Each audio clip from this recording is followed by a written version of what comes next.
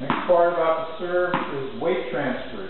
Goes from the back foot, front foot, back foot, front foot, into the court. Back foot, front foot, into the court. Start on your back foot,